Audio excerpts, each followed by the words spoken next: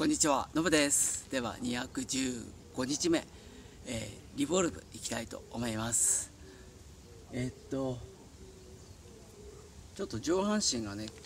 蹴るときに後ろにこうのけぞっちゃうので、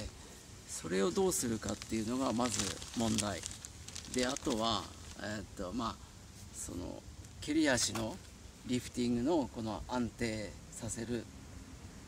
ということ。で回す足の速さはまあだんだん意識できたんでそこはまあいいかなと思います、まあ、とりあえずちょっとやっていきたいと思います。